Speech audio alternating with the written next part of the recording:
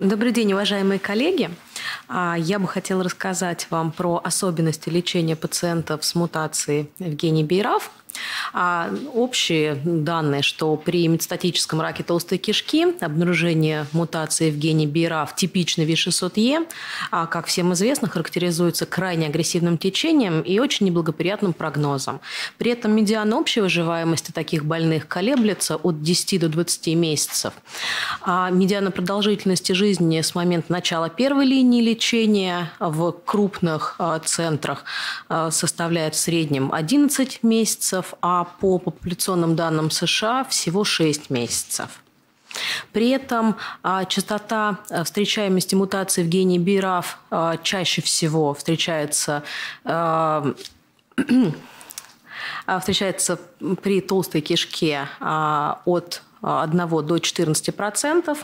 По российским данным, подсчитанным в нашем центре, при привлечении более чем 8 тысяч 600 случаев заболевания встретилась примерно в 5% случаев, а, что полностью согласуется а, с данными развивающихся стран, с Мексикой или с данными а, наших азиатских коллег. При этом заведомо ниже частота встречаемости, чем по данным США. Очевидно, это может быть связано с факторами питания или особенностями а, нашей жизни. А по локализации а, чаще всего, так же, как это репортируется другими исследователями, BRAF мутация встречается при правосторонней локализации первичной опухоли. По нашим собственным данным, на втором месте находится рак прямой кишки, что также бьется с данными скорее развивающихся стран, чем а, с европейскими нашими коллегами или с данными по Соединенным Штатам Америки. А в, переходя к вопросу первой линии терапии, а, в нашем центре Михаилом Юрьевичем Федянином был проведен метаанализ исследований по сравнению эффективности режима FOLFOXIRI и а, FOLFOX и FOLFIRI с таргетной терапией при метастатическом раке толстой кишки с мутацией в гене BRAF. А, при этом а, показали, что трехкомпонентный режим с таргетной терапией не превосходит дуплетный режим с таргетными препаратами в первой линии. Похожее исследование было проведено нашими итальянскими коллегами во главе с Чайрой Кремолини, где в большом исследовании в том числе был под анализ а, по BRAF мутации, где точно так же не было показано а, выигрыша от назначения триплетного режима с биоцизумабом против дуплетного режима, несмотря на то, что итальянские коллеги крайне любят назначение трехкомпонентного режима. А, при этом, а, если задаваться вопросом, работает ли а, комбинация химиотерапии с антиангиогенными препаратами при мутации в гене БИРАФ, да, однозначно работает. И добавление а, антиангиогенных препаратов, в частности биоцизумаба, достоверно улучшают выживаемость без прогрессирования и общую выживаемость при мутации в гене БИРАФ. При этом при анализе а влияет ли первичная локализация, а, локализация первичной опухоли а, на назначение триплетного режима или дуплетного режима. Принципиально было, были получены данные, что при правостороннем раке все-таки при э, микросателлитно-стабильном фенотипе возможно рассматривать трехкомпонентный режим при прочих равных. При сравнении право и лево, что при левостороннем однозначно это двухкомпонентный режим с биоцизумабом. А, и закрывая вопрос, работают ли анти-GFR антитела а, при мутации в гене BRAF нет, абсолютно не работают. А, даже при назначении анти-GFR антител с режимом фулфоксири, с трехкомпонентным агрессивным режимом, такие пациенты однозначно не выигрывали. На этом, в принципе, можно закрывать вопрос. В монотерапии а, анти-GFR антитела с, в добавлении к химиотерапии не имеют места при а, мутации в гене BRAF. Итак, по а, современным, а, по обновленным гайдам а, ЭСМА, как лечить пациентов первой линии метастатического колоректального рака, если мы обнаружили мутацию в гене BRAF. При левосторонней локализации однозначно рекомендуется сочетание дуплета с биоцизумабом. При правосторонней локализации можно рассмотреть триплет или дуплет с биоцизумабом. Переходя к вопросу о второй линии химио о второй линии лечения а, БРАФ мутированного колоректального рака, не лишним будет напомнить каскад, а, когда а, при изначальные исследования, посвященные БРАФ-мутированному колоректальному раку, показали, что моно-антибраф блокада, как при меланоме, при колоректальном раке совершенно не работает. Объяснено это было феноменом обратной петли, когда э, идет обратная реактивация рецепторов анти-GFR на мембране клеток, э, и э, опухоль таким образом ускользает от антибрав терапии. А поэтому все дальнейшие исследования, посвященные метастатическому колоректальному раку с мутацией в гене BRAF V600E, а, комбинировали анти-GFR-терапию вместе с BRAF-ингибиторами или в сочетании BRAF и MEK-ингибиторов. А, в этой связи а, хочется рассказать про а, известное исследование Бекон, где пациенты с БРАФ-мутированным колоректальным раком были рандомизированы на три рукава. Один рукав получал, это вторая линия терапии, пациенты предлеченные. Один рукав получал энкарофенип, бенемитинип и цитуксимаб, то есть антибраф антитела, мек антитела и цитуксимаб. А второй рукав получал энкарофенип и цитуксимаб, а третий рукав получал а, либо комбинацию фулфири с цитуксимабом, либо иринотекан с цитуксимабом. Это был контроль. А, при этом удалось добиться а, частоты объективных ответов а, в группе тройного режима на уровне 27, а, на уровне 27% и частота объективных ответов а, в двухкомпонентном режиме 20%. При этом а, А, при этом медиана а, общей выживаемости не отличалась в группе двух- и трехкомпонентного режима и составляла 9,3 месяцев. Понятно, оба а, режима заведомо выигрывали по сравнению с контрольной группой, в которой пациенты получали анти-GFR, антитела без биметиниба и без инкарофениба. При этом при сравнении а, данных по безрецидивной выживаемости и трехкомпонентный и двухкомпонентный режим показали похожие результаты.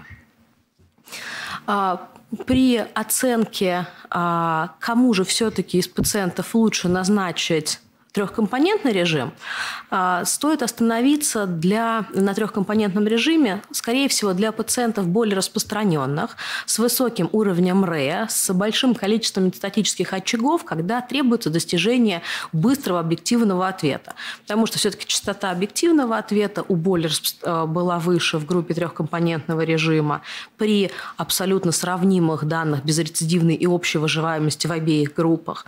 А, и у пациентов с большим количеством метастатических очагов а, были лучшие результаты в группе трехкомпонентного режима. Основываясь на данных исследования Бекон, FDA в 2021 году одобрили двойную комбинацию цитоксимаба и энкарофениба после прогрессирования на первой линии терапии для пациентов с колоректальным раком с мутацией в гене BRAF V600E. А те же самые рекомендации есть в ЭСМО для второй линии лечения инкарофенип плюс цитуксимаб. И э, на данный момент это единственная официально зарегистрированная э, FDA э, рекомендация по анти-БРАФ и э, анти-GFR комбинированной терапии для БРАФ-мутированного колоректального рака. В конце 2022 года а, эти препараты были одобрены Минздравом в России, и мы очень ждем, когда они появятся у нас а, в реальной клинической практике. Хочется дополнительно отметить, что а что же делать с пациентами, которые все-таки успели получить в первой линии анти-GFR антитела, а когда еще не было результатов, что анти-GFR не работают при браф-мутированном колоректальном раке. А, исследование, которое было опубликовано на ESMO в 2021 году, показывает близкие а, к результаты к исследованию Бекон, когда комбинация антибраф и анти-GFR антитела была эффективно а, во второй линии, если пациенты до этого уже получали анти-GFR антитела в предыдущих линиях лечения. Вот, в так... Отсюда можно сделать вывод, что ничего страшного, назначали анти-GFR, при... можно а, давать комбинацию антибраф, анти-GFR в следующей линии лечения.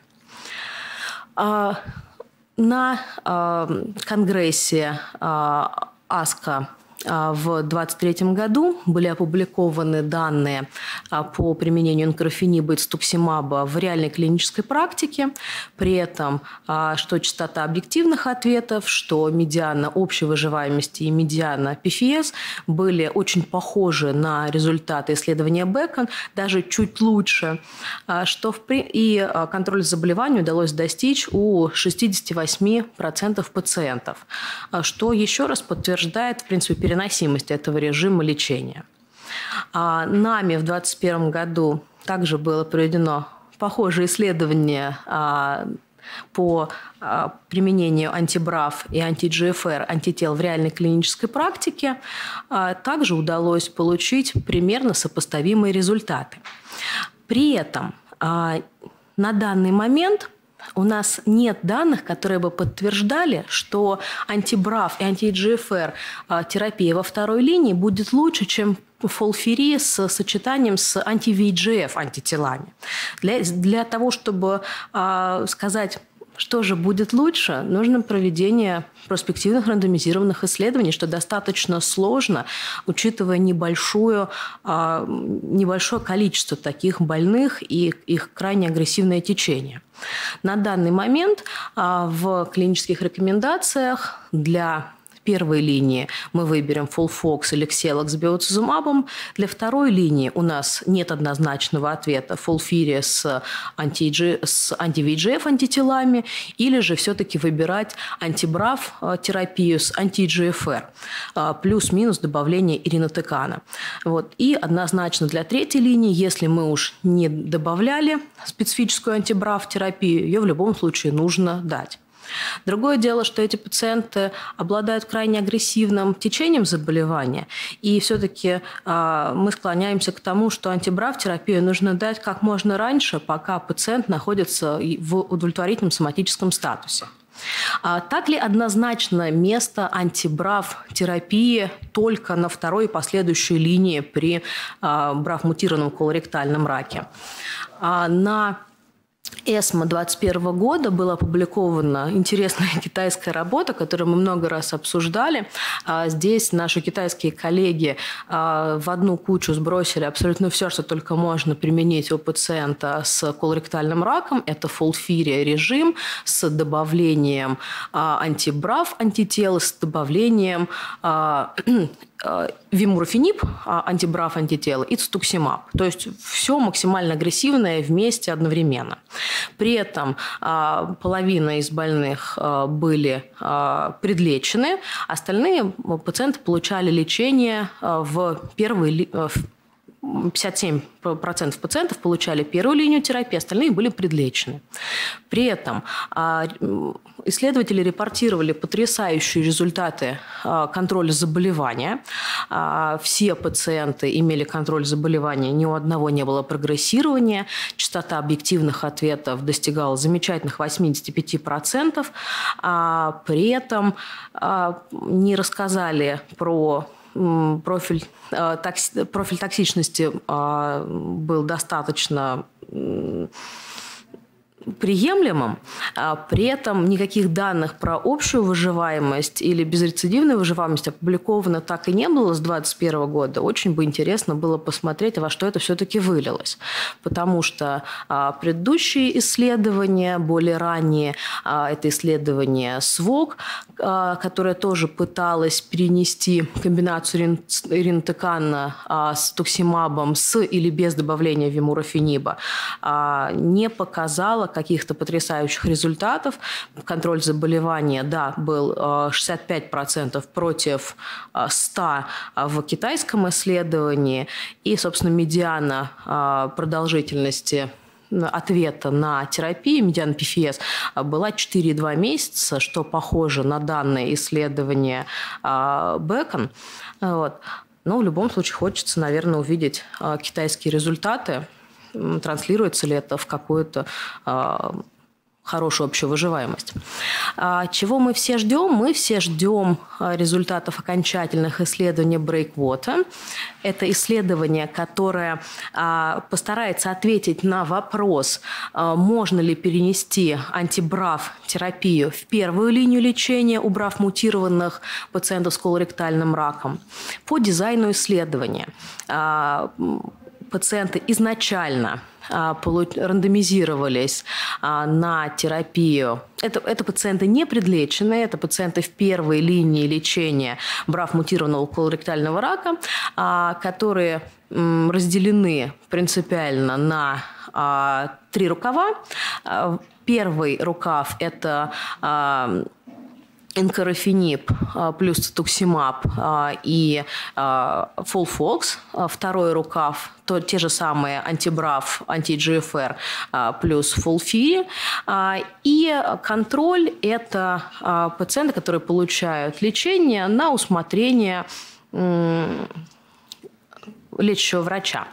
При этом на первом этапе была идея принципиально понять, к какому режиму добавлять анти-BRAF и цетуксимаб, энкорафениб и цетуксимаб, к какому режиму принципиально э, добавлять, а, к FOLFOX у или к FOLFIRI.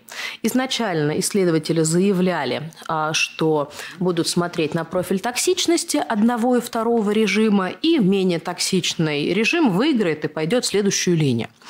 А, при этом удалось набрать по 27 пациентов в группу фолфокса, 30 пациентов в группу фолфире, получили ожидаемое различие в профилях токсичности за счет большей частоты диарей в группе с ринотеканом, абсолютно очевидно. В свой выбор исследователи остановили на фолфоксе, объяснив это непредсказуемым непредсказуемой фармакокинетикой э, энкарафениба в взаимодействии с иринотеканом. При этом частота объективных ответов в группе энкарафениба, цитоксимаба и фолфокс в первой линии составила 68% с медианной выживаемости без прогрессирования 11 месяцев.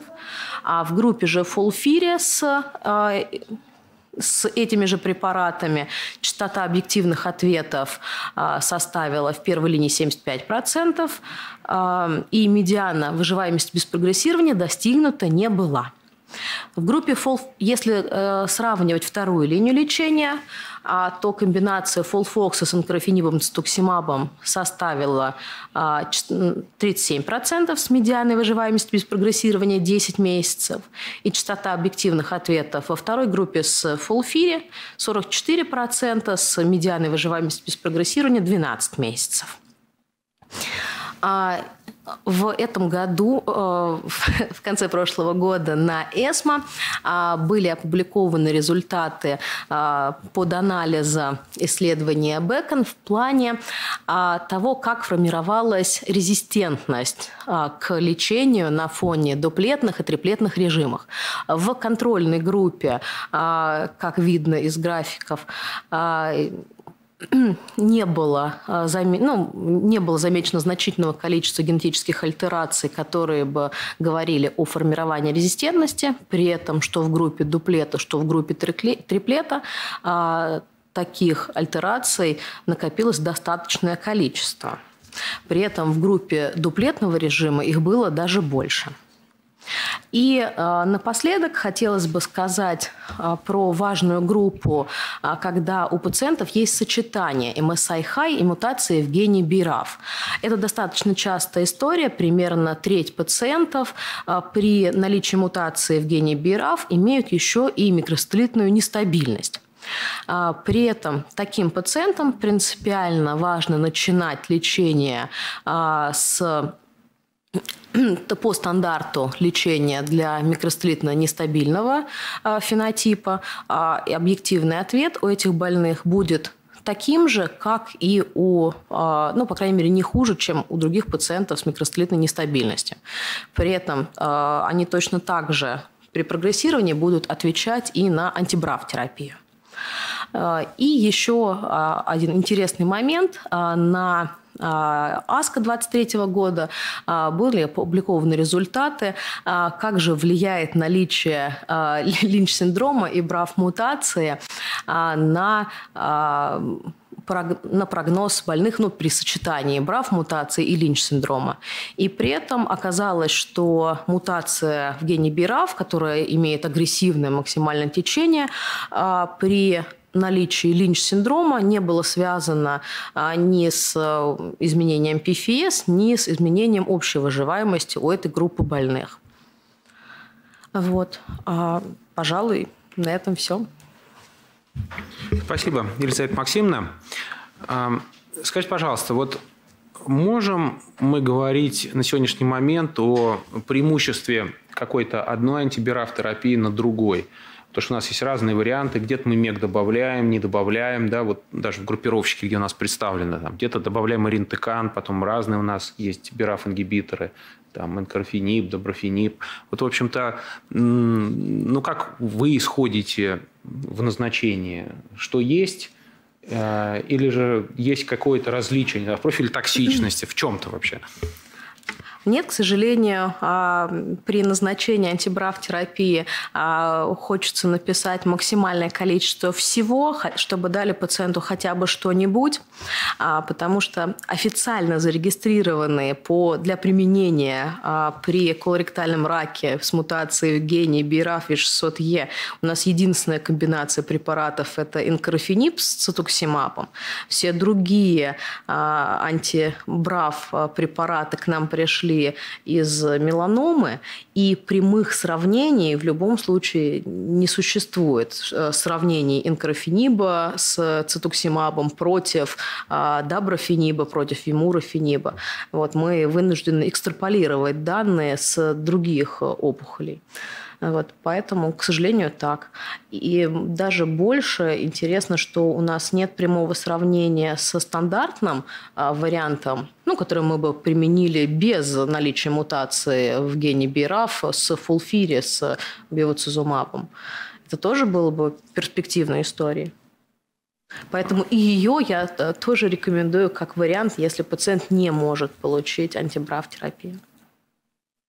А не попадалось ли вам исследование по комбинации? Допустим, если вот так пациенту повезло, что у него мутация БИРАФ есть и МСАЙ-ХАЙ, а комбинации иммунотерапии вместе э, с бираф-ингибиторами? Да, сейчас, мне кажется, все абсолютно настроено на то, чтобы попытаться на пациентам и без микростелитной нестабильности попробовать дать э, иммунотерапия. Да, сейчас есть большое количество исследований а, с иммунотерапией в комбинации с туксимабом для брав-мутированных пациентов а, с микростелитно-стабильным фенотипом. А, но это исследование первой фазы, Ну, я помню, э, Михайлович, тоже помните, одно время выделяли Бираф лайк по тип, да. который должен нам э, был отвечать на винрильбин. Даже попробовали, не ответили. Потом доказали, что это тоже было. Кстати, потом было проведено отдельное исследование второй фазы с винорельбином, которое провалилось абсолютно. Но прям теоретически было очень все красиво. Синтетическую летальность доказывали в клеточных линиях, что пациентов с таким бирафлайк фенотипом клеточки погибали. Поэтому, но в клинике, к сожалению, это не оправдалось. Но тогда пробовали, тогда у нас было еще не было достаточно опций лечения, поэтому пробовали такие варианты. Ну, то есть, таким образом, на сегодняшний момент это, в общем, бираф-терапия, это вторая, третья линия лечения. В первую линию лечения пока еще как бы до исследования Breakwater, которое еще только идет, у нас нет никаких данных, чтобы это рекомендовать, но только, может быть, для э, ну, сложно сказать, какой-нибудь, наверное, ослабленный больной, да, который не кандидат для полноценного дуплета с антителом, ну, наверное, да, можно рассмотреть тогда для такого пациента. Кроме того, в этом году, кстати, была на АСКО представлена одна работа, а, или на ЭСМО, где а, изучали просто двойную а, комбинацию бирав с меком, без анти-GFR антитела. И тоже, между прочим, была показана достаточно высокая эффективность частота объективных ответов была. Но все-таки это одна такая работа. Ну, мы, собственно, и ввели вемрофенип, кобиметинип как вариант, потому что он показывает. Единственное сочетание, которое не работает, это мек-ингибитор анти-GFR.